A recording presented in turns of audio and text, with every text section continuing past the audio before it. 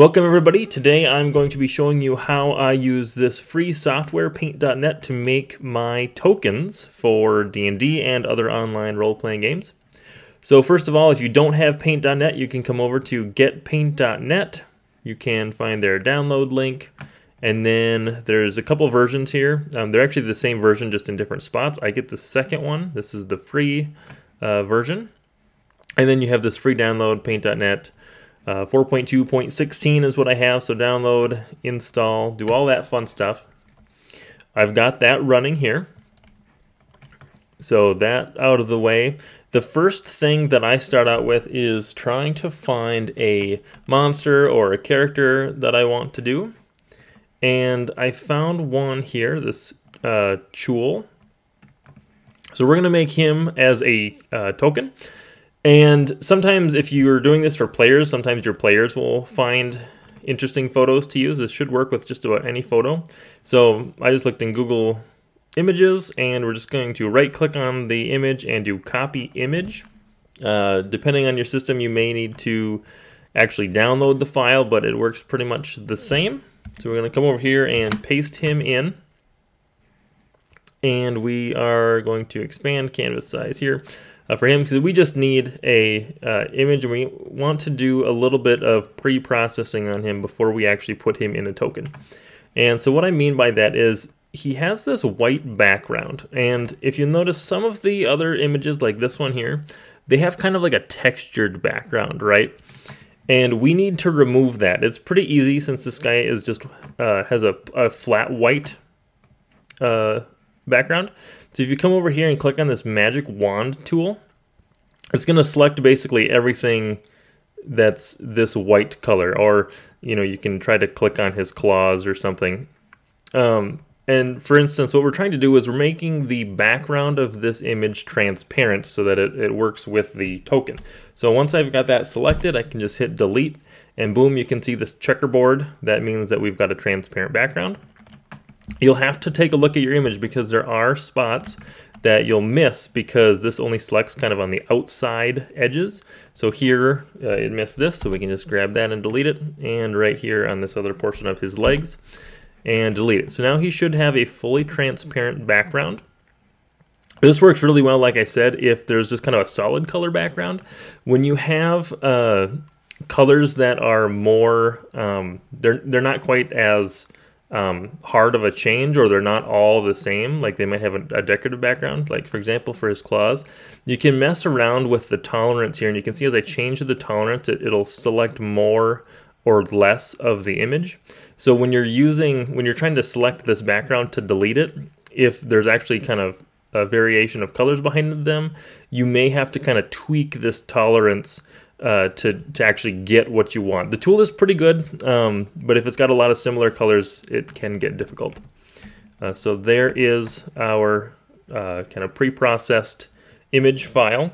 Um, and control and scroll wheel lets you do this zoom in and out. It's a super handy and it actually works in a lot of programs.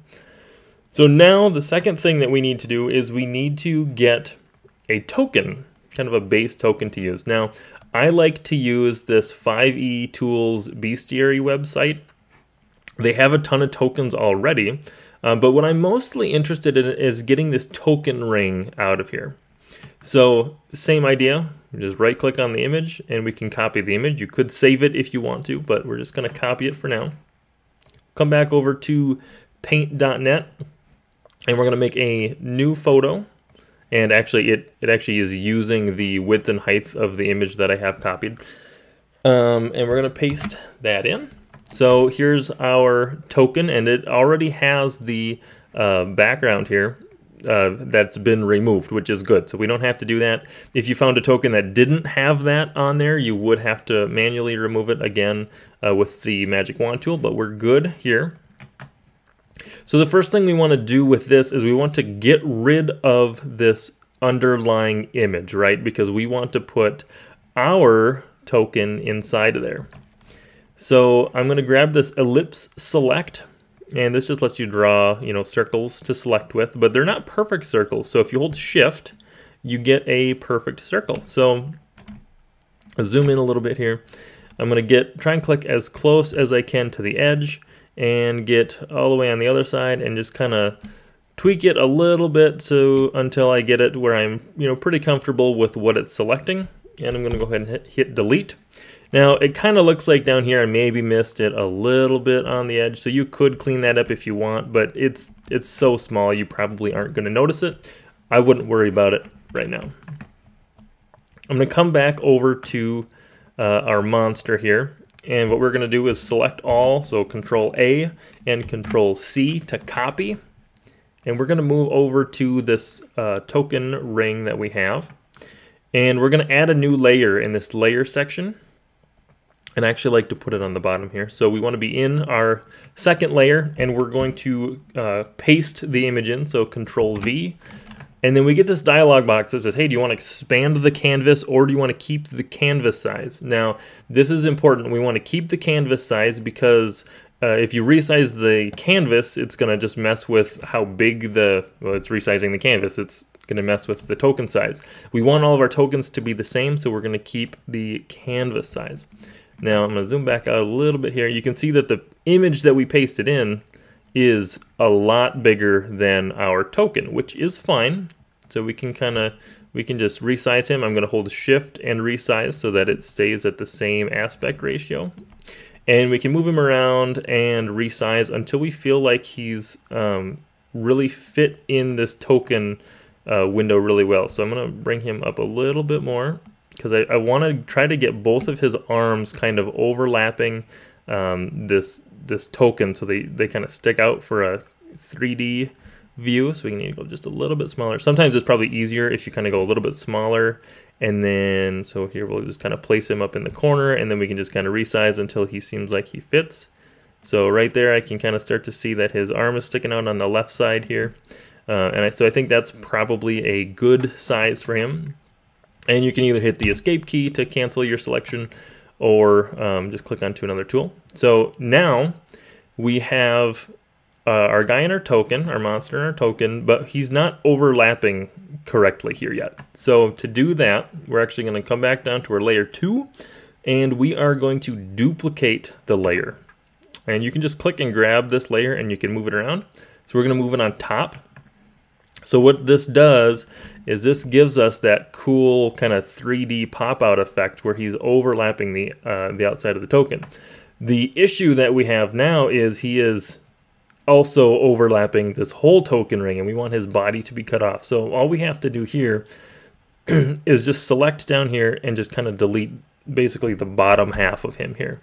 Um, and we got to delete this leg as well over here. So it won't really look like anything's getting deleted because it's also on this other layer. Um, but if we turn that layer off, this is what our top layer looks like now. So our top layer is just kind of the top of his head and, and both of his arms sticking out over the top. Then we have the ring. Then we have the underlying uh, layer here. And that's kind of his full picture, right? So I'm to bring that back here. And so now the next step that we have is we want to clear out um, his legs here from the bottom, right? Because we, we want everything in the circle to stay here, but we don't want his legs that are outside of that range. So being on this bottom layer, we are going to do this fun little trick where we grab our ellipse and this time you don't have to be as precise. You don't have to get right in the middle. You can actually do this basically anywhere on the ring. Um, and basically what we're going to do is we're going to say we want to delete everything that is not inside of this circle. So to do that, we selected the circle and we can go up to the invert button here for the selection tool. And then we're going to go to our rectangle select again and just from the outside in we're going to pull this in and you can see as I'm dragging this over it's inverting the selection. So now instead of having only this interior uh, part of the token selected I'm deleting everything except for that token. So I can go ahead and hit the delete key and boom that's gone. And you can see how quick this is. It's really not uh, not a lot of work to get this put together here. So that's our kind of base of our token. Now you could, um, let's say we add another layer behind him and you could drop, you know, your paint bucket, you could put like a, a black background on there or like a, a dark red or something, whatever you want to do there, you can kind of mess around with that.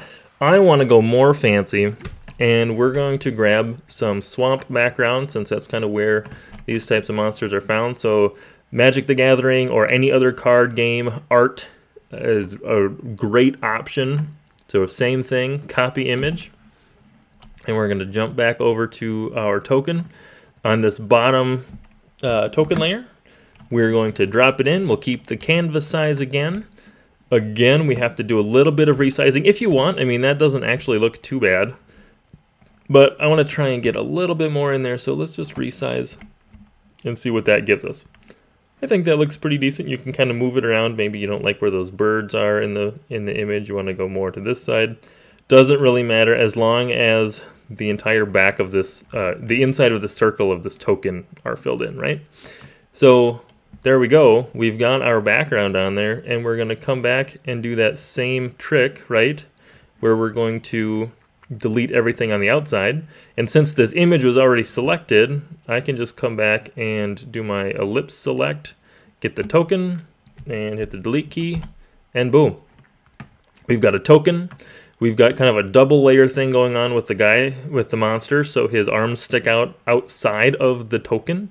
Uh, this specifically works really well with tokens where the characters have something that sticks up into one of the corners because you'll notice that the token edge gets really close to um, the top of the image here. So if you have anything going like straight up or straight off to the sides, it's not going to show up as well. But anything where you kind of hit the corners, uh, is, this, this should work pretty well. So that is um, your basic steps to making a token, but we're going to take it one step farther. And this is kind of an experimental step that you can play around with. So we're going to take one of these layers, we're going to duplicate it, and we're going to go into the adjustments, brightness and contrast, and bring brightness all the way down, right? So we're basically making a shadow layer. Let's actually move it to the bottom. So, so there's this regular layer, there's a shadow layer. So this is to give it another little bit of a 3D effect. Then you can go to effects and blurs, Gaussian blur, and then you can you can play around with this, right? So this blurs that background. Uh, so even just a little bit kind of gives him just a little bit of a shadow that helps him stand out over the top of the token and over the top of the, the background behind him. The only issue that you get when you're doing tokens like this is that now you'll see that the blur, you can see the difference between, you know, where we had deleted the top one and the bottom one. So you may have to come back in and do a little bit of editing here to kind of try to clean some of that up. And then you would want to then do another blur on uh, this other layer here to kind of finish out the blur. So again, we went brightness contrast. This kept our settings. So we're making a completely dark layer and then we're going to uh, repeat this Gaussian blur again. And there you go. It's um, and actually that looks pretty decent. Um, so then you get this little blur on the image, which helps him stand out a little bit from the uh, background. Now the other thing you can do, let's say you didn't want to do that, there's, a, there's also an easy way, another easy way you can do this. Um, let's say you want to merge all these layers down, so this just turns them into one uh, image. You can duplicate this whole image, and you can do the same process. You can do brightness contrast, you can make a shadow layer, um, and if you notice, the brightness, it's not completely just black, it, it does have some of the color still, um, which is good because it has this cool effect of when you repeat the blur. And let me actually undo that. I'm going to do a slightly stronger blur here. So this is only 8. You can, you know, you can crank this up as much as you want. But like, let's do like 25. Okay, so here's our blur. You get this kind of neat, the whole token is now blurred. So it's like there's, uh, the token would, would not uh, like the character doesn't stand out from his background, but he would stand out from the tabletop because he's got this little shadow on him.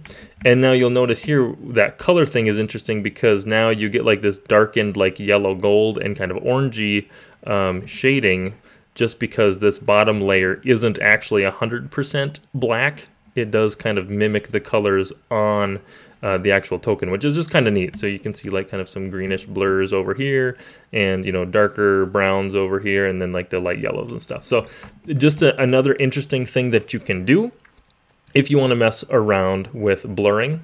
Um, before you do this merge, I know this isn't too difficult, but if I just do um, edit undo a couple of times and get my layers back. So if you get your layers back, I would probably, if you're going to make a lot of tokens, I would save this as uh, their default. So a paint.net is a basically a paint.net project file, which means it's going to have all these layers separated. You're not going to be able to upload a paint.net file to like Roll20, for example, um, just because it's not a supported file type. It doesn't look like an image, it's a project file.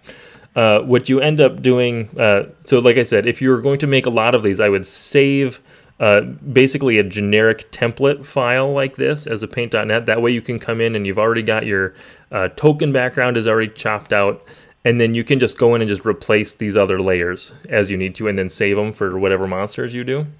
Uh, to actually save it as a usable image, you want to save it as a PNG because PNGs have the transparent background. JPEGs and a lot of the other ones don't have transparency in the background. Uh, so let's just name him Chuul Token. Save him to the desktop.